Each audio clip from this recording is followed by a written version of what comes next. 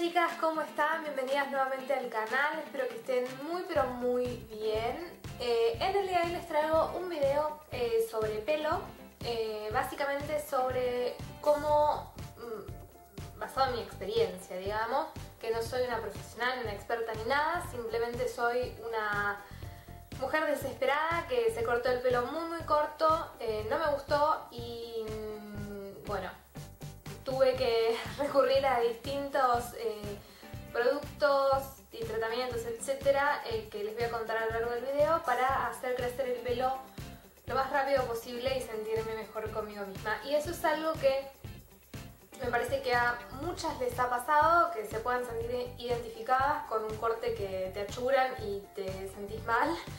Eh, y bueno, es un proceso bastante triste de pasar eh, si bien es algo que uno dice, bueno, pero es pelo, no es salud, nada, es verdad, es pelo, no es salud, el pelo crece, o sea, es, así, el pelo te vuelve a crecer, te tarda, pero te vuelve a crecer y hay distintas cosas que uno puede ir haciendo para que el proceso sea un poco más rápido y además el, el pelo crezca bien. Pero bueno, es angustiante el proceso, así que mm, es algo por lo que hay que pasar, pero eh, bueno, yo les quería compartir mi experiencia, ir contándoles los productos que fui utilizando, los tratamientos que fui haciendo para que el, pelo crezca sanito y... Eh, bueno chicas, les paso a contar brevemente mi historia. Resulta ser que eh, yo tenía el pelo largo por la... más de la cintura, casi me llevaba la cola, el pelo súper largo, recto. Eh, lo que me hacía cada tanto era rebajarme un poquito acá adelante y me hacía flequillo para el costado, eso era todo. Pero cuando me lo corté lo tenía bastante no parejo todo, pero largo, largo y largo el pelo. Y eh, quise hacer un cambio dramático para año nuevo y me corté el pelo recto, un corte recto por los hombros a esta altura, entero.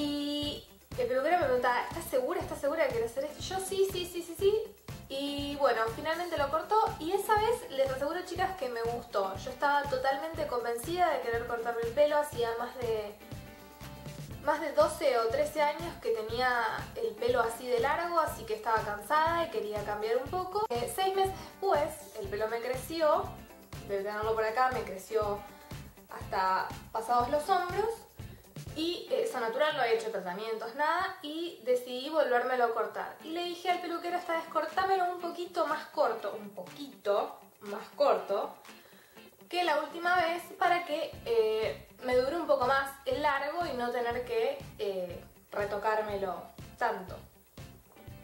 Yo no sé si el peluquero estaba cruzado, qué le pasó, la cuestión es que el tipo me achuró, me cortó el pelo por acá, o sea, muy, muy corto. Yo les voy a dejar fotos de ambos cortes en, la, eh, en el transcurso del video les voy a dejar fotos de los cortes para que vean la diferencia del poquitito que entendió el peluquero, hay que tener mucho, mucho cuidado con los peluqueros. Este no era mi peluquero de toda la vida, era un peluquero nuevo.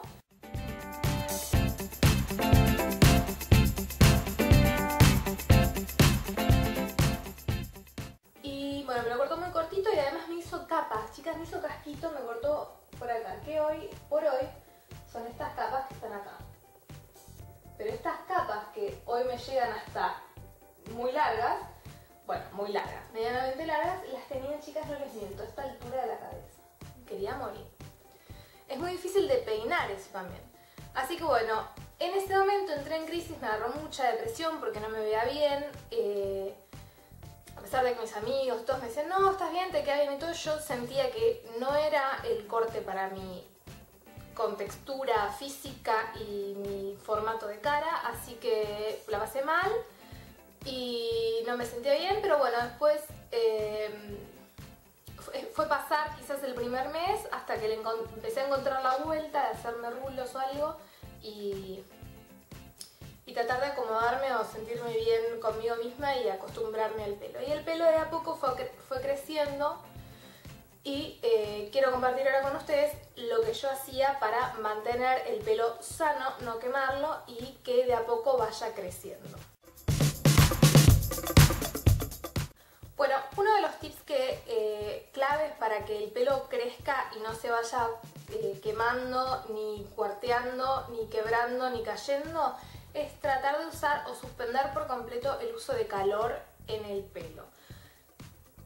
La menor cantidad de, secador de pelo, la menor planchita obviamente, buclera, todo, la buclera y la planchita de pelo exponen directamente el pelo con el calor, o sea que si, pueden totalmente eh, suprimir el tema del calor, buenísimo, el pelo les va a quedar mucho mejor que si Otro de los calor. que les propongo es hacerse em, tratamientos caseros para em, estimular el crecimiento del pelo. Uno de los tratamientos que yo hacía em, era calentar en una tacita eh, un, poquito de aceite de oliva en el microondas, lo eh, ponía tibio, no hirviendo ni nada, por favor chicas, mucho cuidado con esto porque el aceite hirviendo se van a, se van a lastimar. En el microondas unos segunditos iba probando con la yema del dedo la temperatura y cuando estaba tibio lo que hacía era con la yema de los dedos sobre el cuero cabelludo directamente aplicaba aceite de oliva y me iba haciendo masajitos de forma circular. Eso eh, me ayudó a hacer que eso ayuda, digamos, a que el, cabello crezca, que se nutra el cuero cabelludo, que no se reseque, ¿sí? Y es también bueno, dicen, para eh, evitar la caída del pelo también, porque evita que el cuero cabelludo se reseque, se contraigan los, lo que sería el, folículo por donde sale el pelo y eh, queda hidratado todo el cuero cabelludo y el pelo nace más sano, más fuerte y también hay un trata hay como un, eh, una especie de tratamiento casero que uno puede hacer para estimular, digamos que por razones de gravedad, el crecimiento del pelo. Yo esto no lo hice, eh, lo hizo, lo mostró, hay un video de una youtuber que se llama Anastasia Steyr o algo, o algo así. Les voy a dejar el link de ese video, porque yo lo vi me quedé impresionada. Les voy a dejar el link de ese video en la cajita de información abajo para que vayan y lo vean. En el momento en el cual yo estaba pasando por ese proceso, Xvideo no, no existía, así que no, no tomé conocimiento de ello pero se los voy a dejar porque está muy muy interesante. Si hubiese existido en ese momento, definitivamente yo lo hubiese hecho. Otro de los tips que les propongo es no lavarse el pelo todos los días. El hecho de lavarse el pelo todos los días eh, puede eh, generar eh, mm, que el pelo se caiga más, que el pelo se reseque, que no crezca de forma natural. Entonces lo ideal es lavarse el pelo lo más espaciado posible o humanamente posible. Yo intentaba hacerlo día por medio y en el medio utilizaba un shampoo. Un tip más perdido que les dejo por ahí y me van a mirar o me van a decir ¿qué? ¿Qué dice esta chica? ¿Qué está loca? ¿Qué le pasa? ¿Se lava con qué? Les cuento. Cada tanto a mí lo que me gusta hacer, por lo menos una vez por mes, de todos los productos que vamos a ver en el video o de los mismos de los que ustedes van a utilizar, porque para el pelo hay 20.000 productos y seguramente ustedes también se pongan 20.000 cosas en el pelo, cada tanto hay que eh, limpiar en profundidad todo el pelo y el cuero cabelludo para que los nuevos productos o los productos que nosotros les pongamos se absorban en su totalidad y el pelo se vea limpio y sano. Porque eh, la acumulación de producto, el exceso de producto que nosotros nos ponemos en, el pelo nos genera eh, sobre el cuero cabelludo residuo, efecto residual, eh, se va como acumulando y pegoteando en la raíz de los pelitos de, de los... Sí, un asco, pero sí, se va acumulando y quedan residuos de productos en el cuero cabelludo de todas las cosas que nosotros nos hacemos. Así que por lo menos una vez por mes o una vez cada dos meses si son vagas, eh, hay que lavarse bien en profundidad. ¿Cómo se van a lavar en profundidad? Esto es así. Me van a mirar como una loca, pero es así. Eh, a mí me gusta lavarme el pelo con eh, detergente, detergente de lavar los platos, que sea magistral. Yo utilizo el que es, creo que para piel sensible o algo así, uno ahí de lavanda, de aloe, Pueden utilizar el de lavanda, por ejemplo, o de vainilla. Utilizan eh, detergente una buena cantidad, se lo lavan bien frotando. No se preocupen chicas que no les va a pasar nada por ponerse el detergente en el cuero cabelludo. Frótense con tranquilidad. una vez que tienen el, el, el detergente hecho espuma, a mí lo que me gusta hacer también es enjuagarlo un poco, no del todo, y cuando está a semi enjuagar, van a agarrar media rodaja de o sea, una mitad de limón recién cortada y se van a echar el jugo de medio limón en el, eh, sobre la cabeza mientras están en la ducha.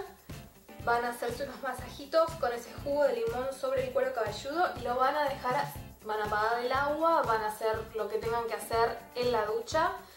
Van a dejarlo actuar al menos unos 3 a 4 minutos y luego se van a enjuagar bien la cabeza y eh, no se tienen que lavar con otro shampoo ni nada. Lo que van a hacer después de enjuagarse bien, bien enjuagada la cabeza, sí aplicarse un acondicionador, por ejemplo este de L'Oreal, el, el Absolute Repair, algo potente, que les hidrate bien el pelo para que no quede tampoco efecto paja porque va a estar súper, pero súper, súper limpio el pelo.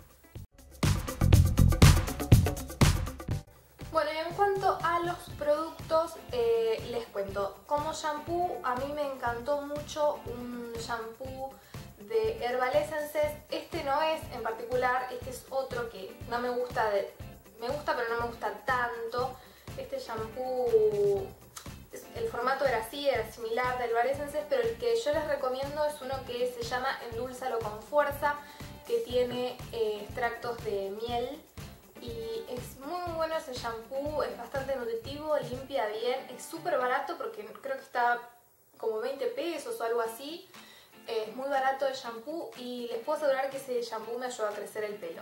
Y sano y fuerte, me gustó muchísimo. Eh, otro de los shampoos que les recomiendo es este de Biferdil, esto ya es un poco más costoso. Eh, viene también, lo pueden probar en tamaños más pequeños, este es el más grande o el mediano, creo que hay más grandes también.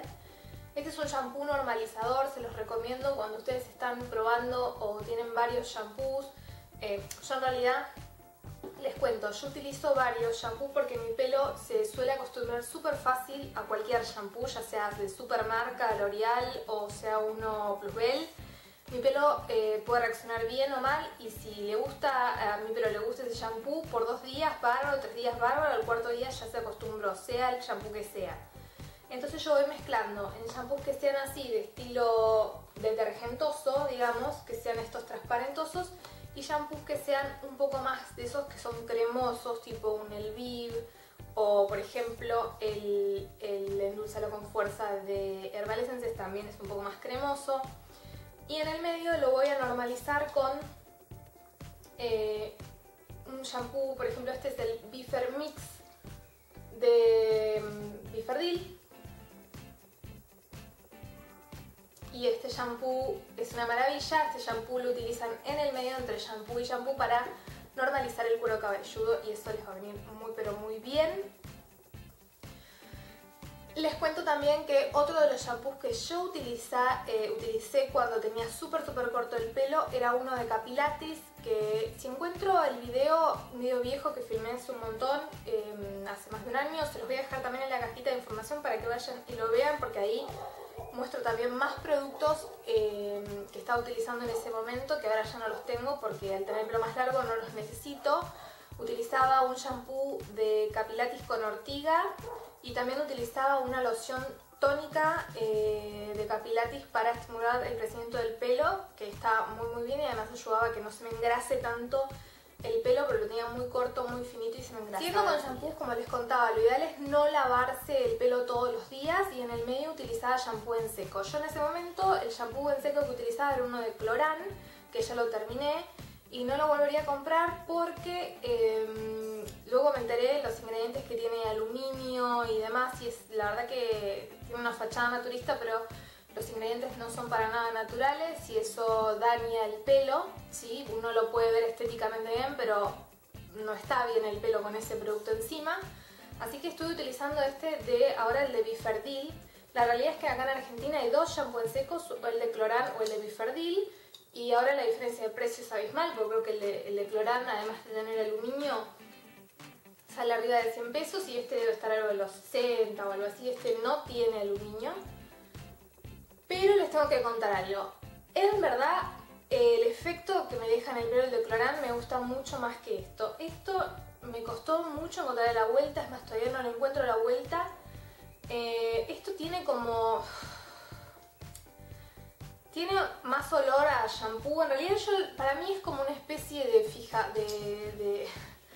¿Me dan entender? Es como una especie de... Si ese fijador para el pelo, la laca, tiene olor a eso y tiene esa sensación así pegajosa que te deja la laca para el pelo. Así que hay que batirlo mucho esto antes de utilizarlo, este shampoo en seco, mucho para que no te quede ese efecto.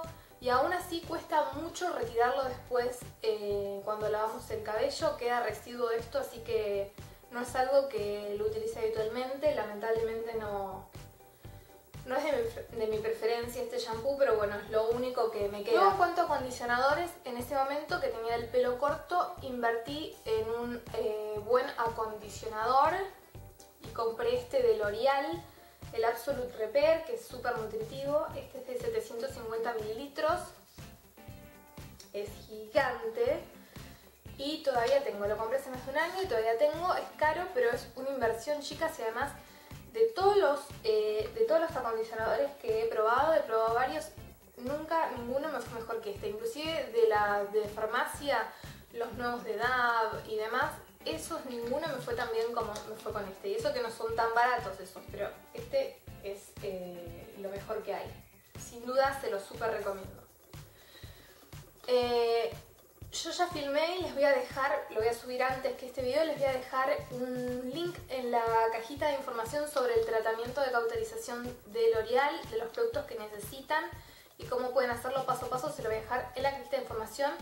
Va anexo a este video porque también era algo que hacía y está muy muy bueno y se los recomiendo también ese tratamiento para el pelo. Otro de los acondicionadores que recomiendo y que es eh, barato es este de El Viv yo compro así siempre chiquititos porque duran una eternidad, pueden comprar el grande también. Lo que pasa es que yo voy variando, no siempre tengo el mismo.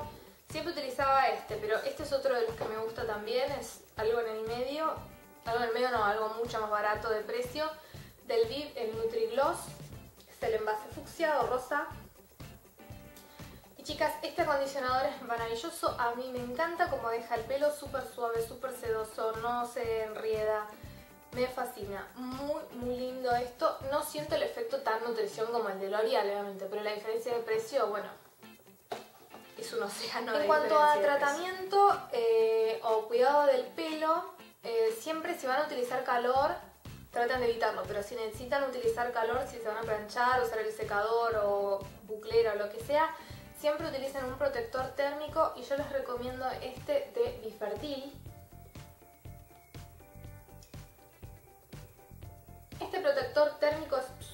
suave, no contiene alcohol, no contiene sal. Eh, es de industria nacional, trae un toco, trae 250 mililitros y está alrededor de los 65 pesos. Eh, es genial este, este, o sea, cumple su función, no tiene un olor especial, es más, no tiene creo que ni olor. A ver. Sí, tiene un olor, pero es nada, no, es un olor eh, rico ni feo. Eh, y se lo súper recomiendo porque no necesita más que esto eh, en cuanto a protector térmico. ¿sí? Hay otros protectores térmicos en el mercado que están mucho más caros y traen la mitad de producto y no es necesario gastar tanto en eso, en mi opinión.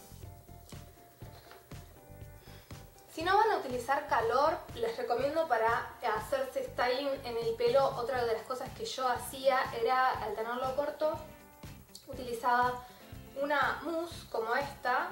Eh, esta es de Herbal Essence, es súper barata, se llama Alborótalos.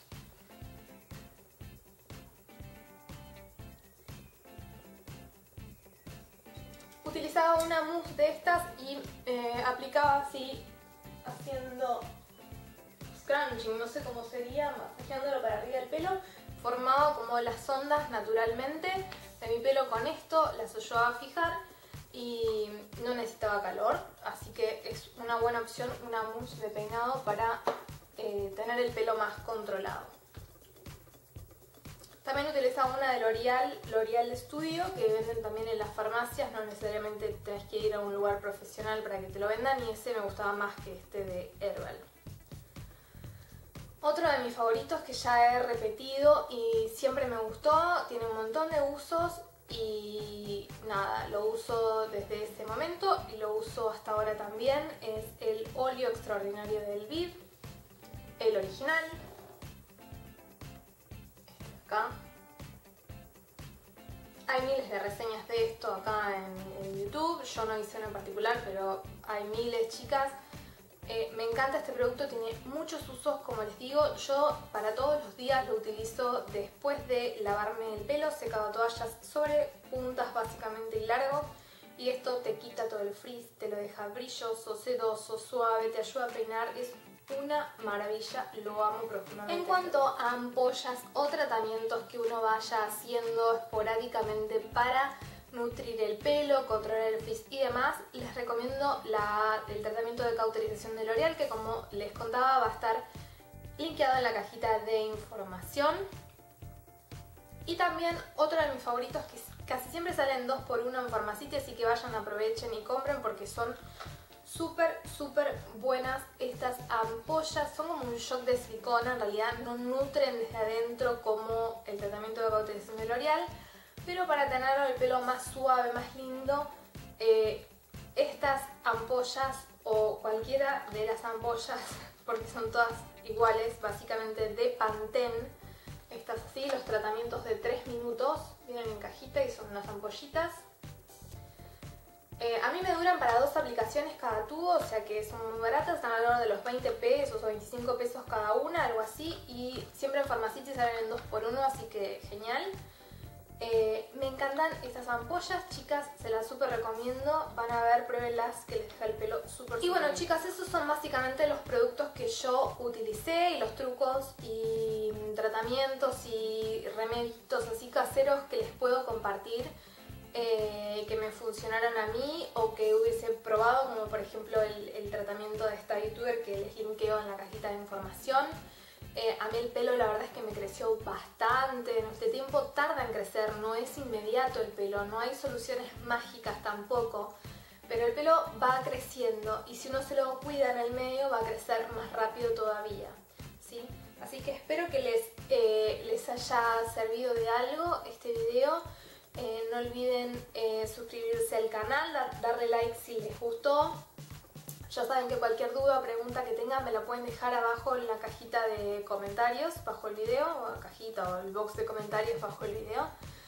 Eh, y eh, recuerden también que pueden seguirme en redes sociales, estoy mucho por Instagram y también estoy por Facebook. Y les mando un besote enorme a todas, nos vemos en el próximo video. Se cuidan chicas, chao chao.